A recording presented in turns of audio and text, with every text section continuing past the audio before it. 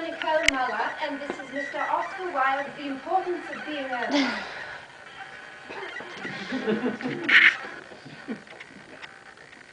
Of course, you are quite, quite sure that it is not Mr. Ernest Worthing that is your guardian. Quite sure. In fact, I am going to be his. I beg your pardon.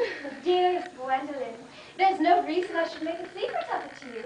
Mr. Ernest Worthing and I are engaged to be married. My darling Cecily, I'm afraid there must be some slight error.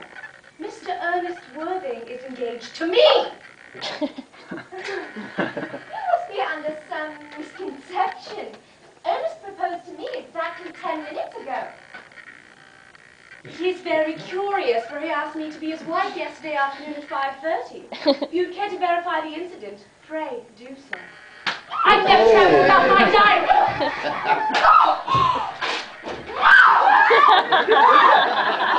It would disgust me more than I can tell if it caused you any physical or mental anguish. But I feel bound to point out that since Ernest proposed to you, he has clearly changed his mind. The poor fellow has been entrapped into any foolish promise. I shall consider it my duty to rescue him at once and with a firm hand.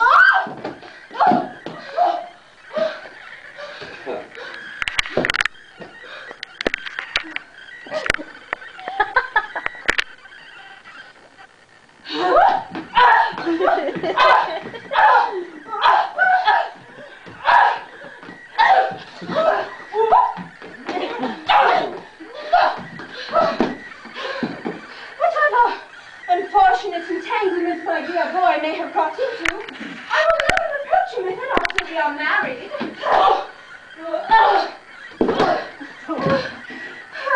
Do you allude to me, Miss Cardew, as an entanglement? You're presumptuous.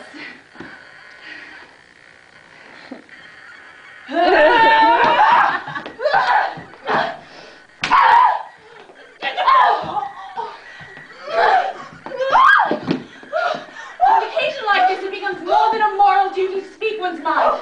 It becomes a pleasure. Do you suggest, Miss Fairfax, that I entrapped Ernest in an engagement? How dare you!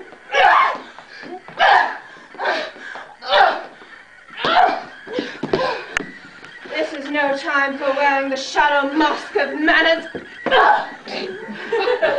I see a spade, I call it a spade!